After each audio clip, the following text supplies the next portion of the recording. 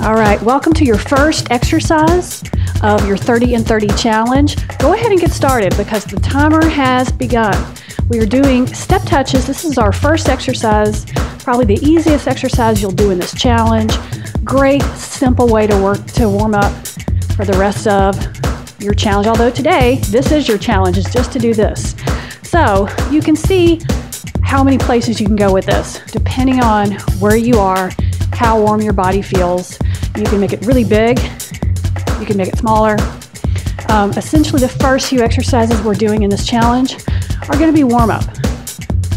So just find a rhythm, do whatever you want with your arms. You can make them bigger, you can make them smaller, you can put them on your hips, whatever you're feeling right now.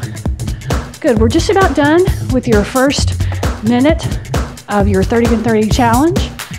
So just four, three, two, one. Great job. All right, welcome to exercise two of your 30 in 30 challenge.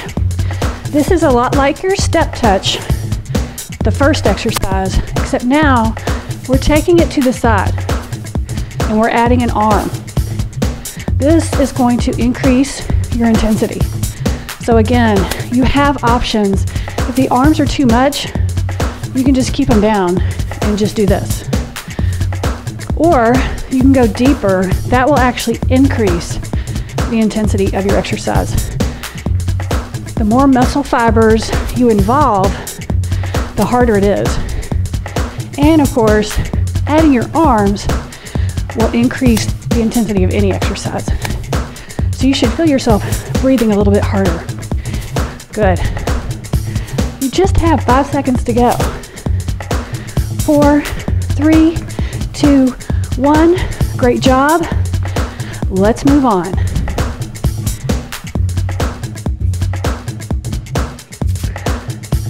All right, welcome to your third exercise.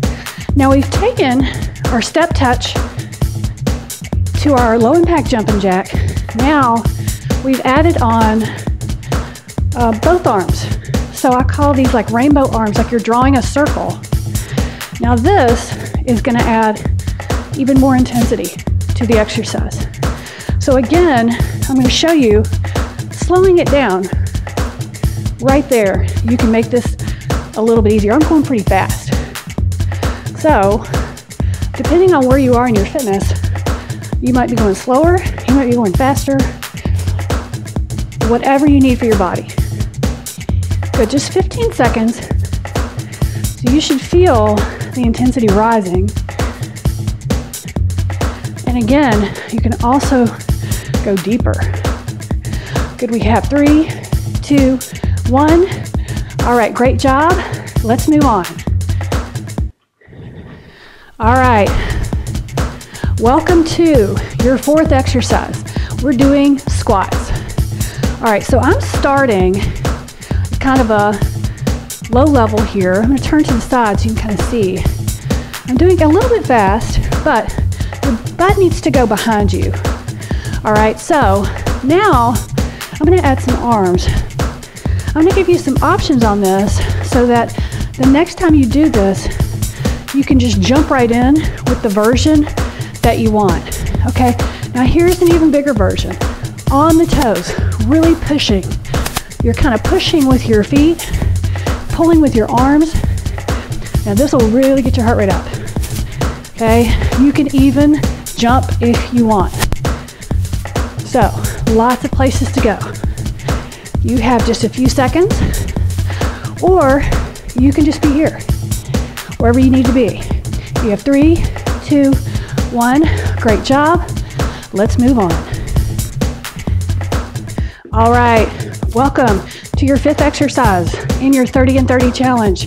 This is like a straight leg march in a way. Okay, so here, what you want to do is try not to bend at your waist or your back. Try to bring your leg up and your hand down without moving anything else. A lot of this depends on flexibility. So if you're not real flexible, you may need to just keep your kicks low. If you're real flexible, you can go as high as you want. But this should get your heart rate up and you can get a nice stretch in your hamstrings. Now, you can keep your arms down if this is too much, or you can go faster if you want to get your heart rate up. Just 10 seconds.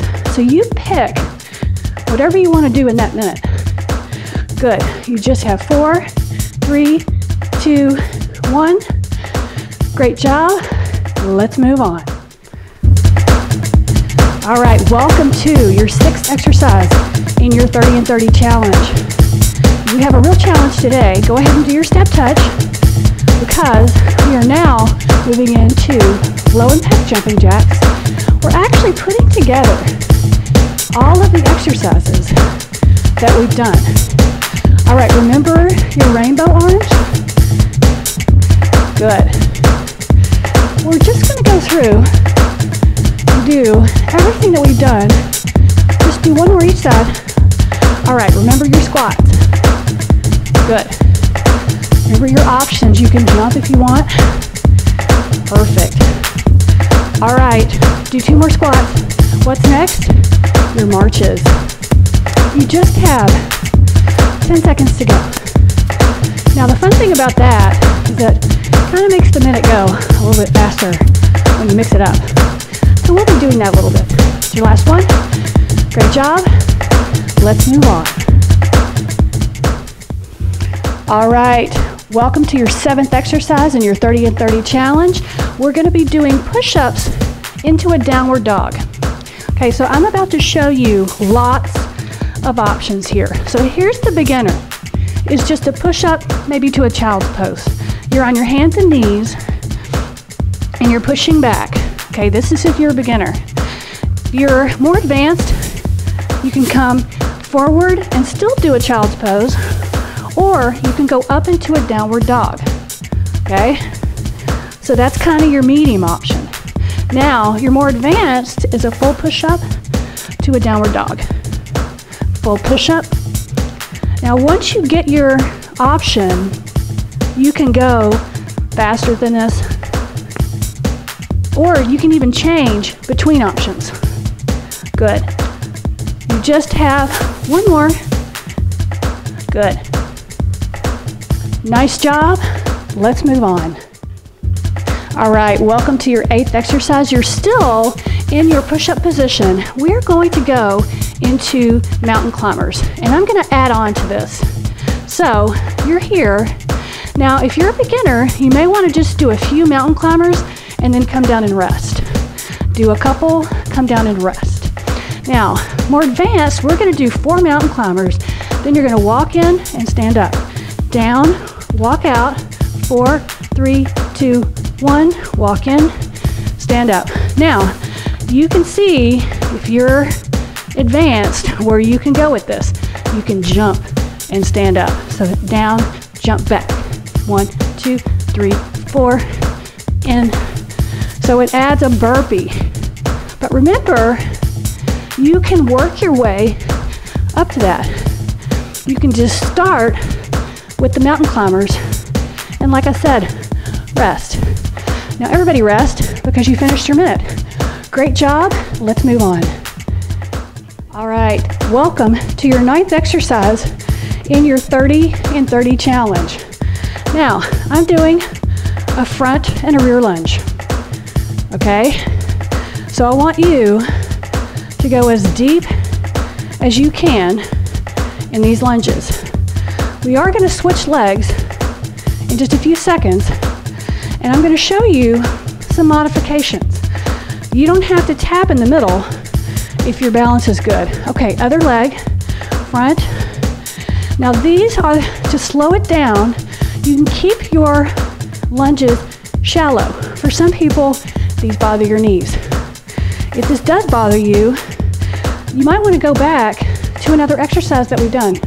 You can do squats, you can do the step touches, any of the exercises that we've done previously. Good, so you should feel this in your legs. This is your last one. Great job. Let's move on. All right, welcome to the next exercise in your 30 in 30 challenge. Now, we're doing a big squat with a big knee. I'm gonna add some arms. So here, it's all about the bigness of the move.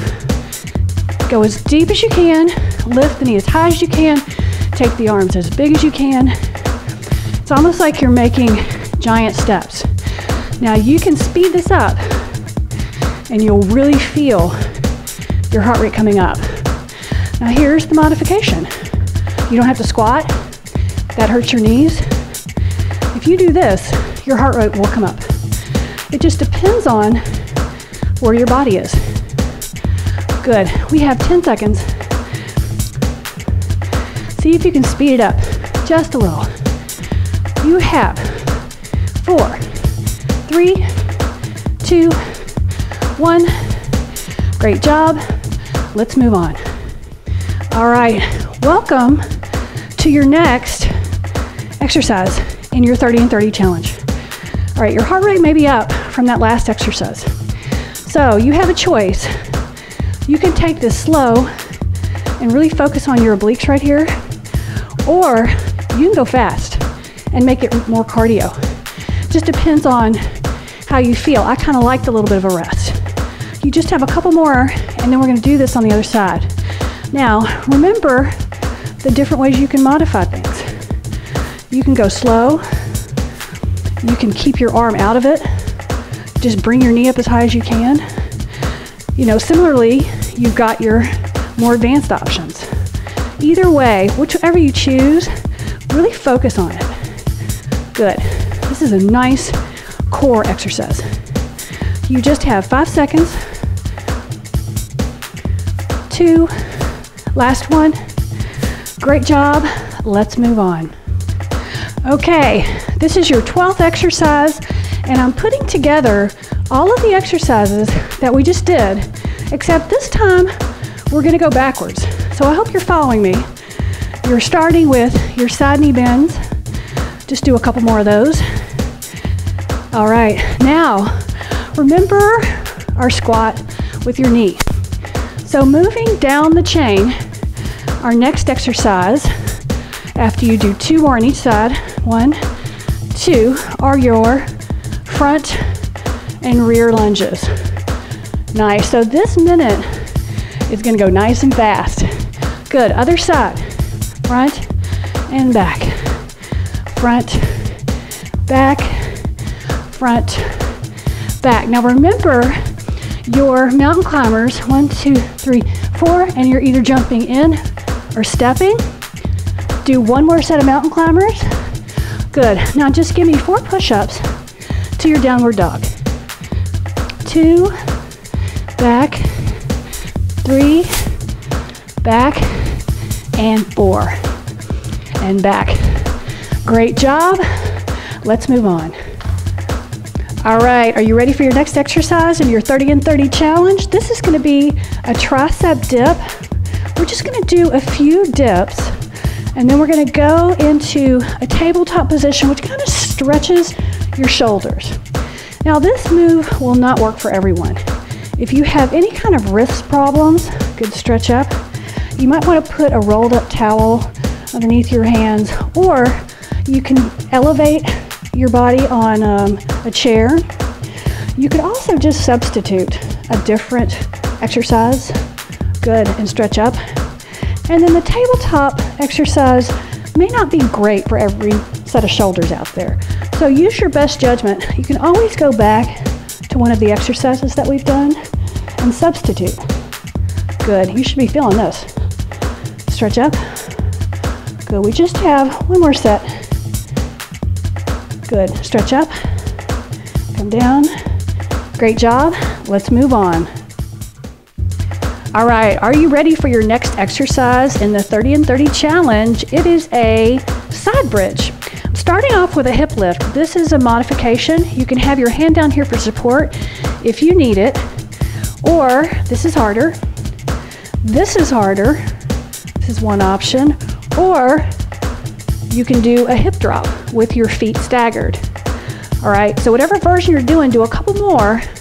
Then we're gonna switch to the other side really quickly And I'm going to show you some more options.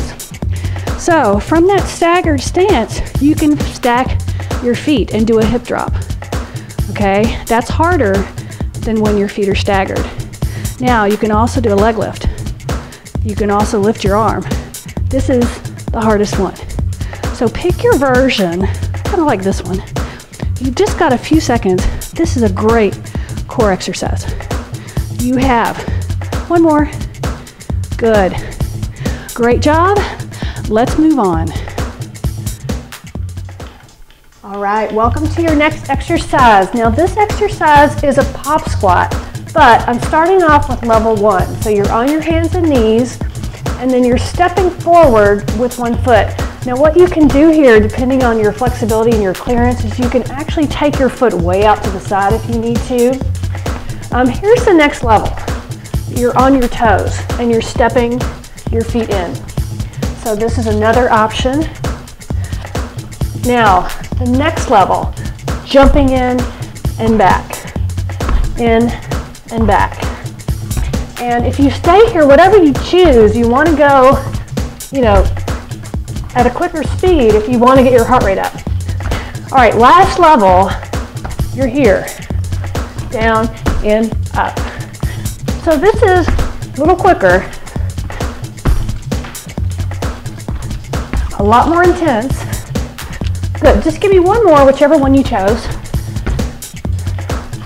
Perfect. Great job. Let's move on. All right, welcome to your next exercise. Now this is a sumo squat. So here's level one. You're just stepping out to the side. All right, level two, you've got like a little pop in the middle. It doesn't have to be a jump. Level three, you add the arms. Okay, so it's really just like a side squat. But the arms really add the intensity. And the depth and the speed. You go faster,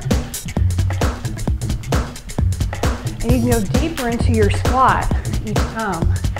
And that'll really get the heart rate up. Good, you're almost there. Whichever one you choose, work as hard as you can Remember that you can change levels throughout the exercise.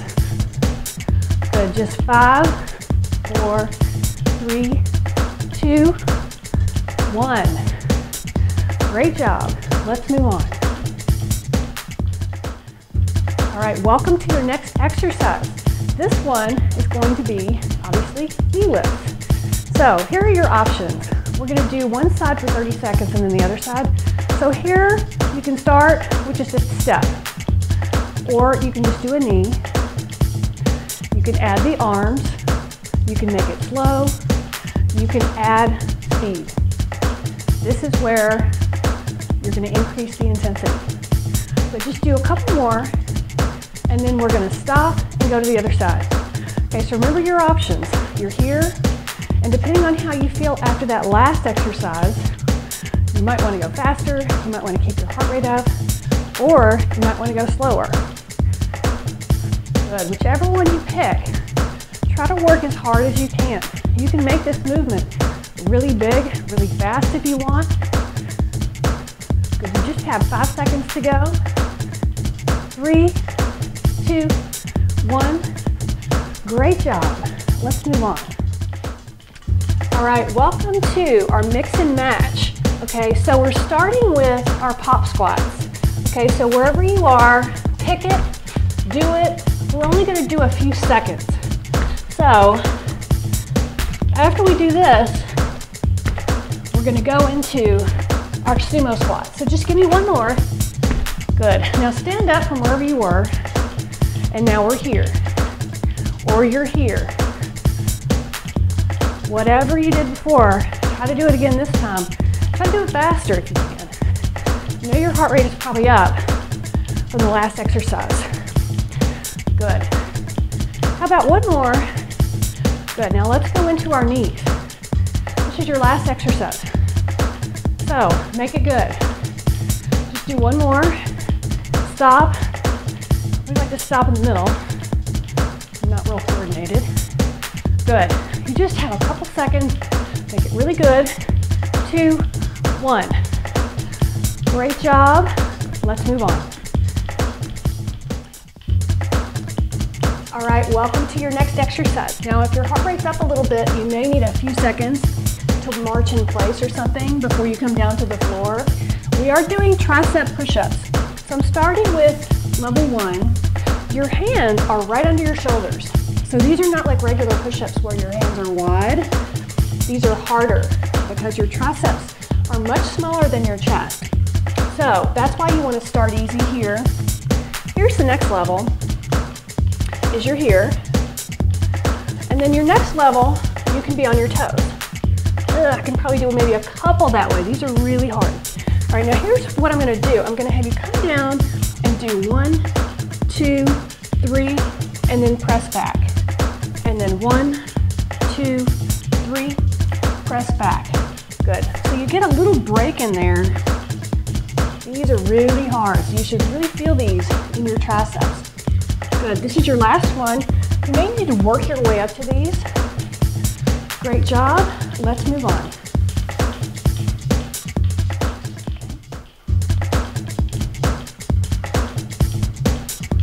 All right, welcome to your next exercise. You're coming up from the floor from your push-ups. Now we're getting the heart rate up again. Okay, we are doing puddle jumpers. So here's level one. You're just wide stepping. Level two, you're making it really big and low to the ground. Level three, arms. So I'm trying to go as wide as my mat. And I'm actually trying to do this without jumping. And you can add a jump. It's almost harder when you just try to step really wide. All right, here's level three. Big arms. Big step to the side, big arms. So you can see how you can make this more cardio or less, depending on how you feel, fitness level, what's going on with you today. You just have a few seconds. Three, two, one. Great job. Let's move on. All right, welcome to your next exercise. We're going into a lunge kick. This is eventually what we're going for, okay? But you can start here and you can just step. Can here, step, kick. Step, together, kick. You can do your lunge, step, kick. So it really just depends on your balance, how often you've done this exercise, how you're feeling today. This is your last one. All right, now I'm gonna switch sides. I'm gonna show you, so another way you can add intensity is to go deeper into your lunge and to add arms. Good. Now you can even go faster if you want. If you want to make it harder, if you feel like you want to work harder, you can go as fast as you want safely. Good. I kind of like this speed. And again, the arms will add intensity. You just have one more. Perfect. Great job. Let's move on. All right, welcome to your next exercise. This is a one-legged deadlift. I'm starting out level one. Okay, you have one foot behind you, the front leg is straight, there's a slight bend in the knee if you need. Um, you're bending at the waist. Okay, there's no rounding, your shoulders are back. All right, here's level two. You're coming up and down. Up, down, lots of balance. I can feel myself wanting to fall over. Good, we're gonna switch to the other side. And I'm going to show you how you can make this harder. Now you can add arms. I can tell I'm on my good leg now because I'm not falling over as much. Okay, you can also add a knee. You're here and a knee. You can also add an extension right there. So wherever you go, work as hard as you can. Remember, this is your where you start. Just give me one more. Good, that's perfect. Great job. Let's move on. All right, welcome to your next mix and match. Right now we're gonna do puddle jumpers and then our lunge kicks. So whichever one you did before, your puddle jumpers. Remember your options. You've got your one arm, you've got both arms. Pick your poison, go for it. We're only gonna do half our minute with this, and then we're gonna do our lunge kicks. Good, so just give me one more each side. All right, now turn right into your lunge kick. I'm gonna add my arms this time. I'm feeling warm. But again, remember your options. You don't want to lunge, you don't have to. You have one more. Good, because a step can be just as effective if you get that kick in. Perfect. We're almost there. Kind of speeds things up when you do more than one exercise. How about one more kick? Great job. Let's move on. All right, believe it or not, this is our last cardio. So here's where you start. It's just a step squat out to the side. And we really only have two options here. This is the second option. So you're really just doing like a quarter turn jump. Now, if you are on hardwood floor or you can pivot, you can actually pivot that foot back. I'll show you on the other side. All right. That's your last one. All right, so you're here. I just changed my arms. So stay here, or if you can pivot back, you can do that. I'm on a mat, so my foot won't slide, and I don't want to hurt my knee. So I am not going to pivot. But if you can turn that foot, you don't need to jump at all. If you can do it, try to go for it, because this is it. After this, we're doing core and stretch. That was your last one. Great job. Let's move on.